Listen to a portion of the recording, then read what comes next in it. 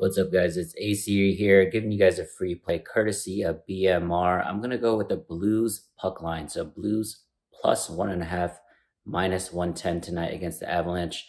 The Avalanche are the better team, I fully admit, but I think the Blue the Blues will keep it close tonight. It is a closeout game for the for the Avalanche, so I think there's going to be some nerves there.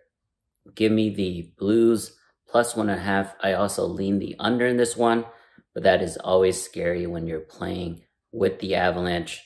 So instead, I'm just going to do the puck line. So Blues plus one and a half goals minus 110. Good luck, guys.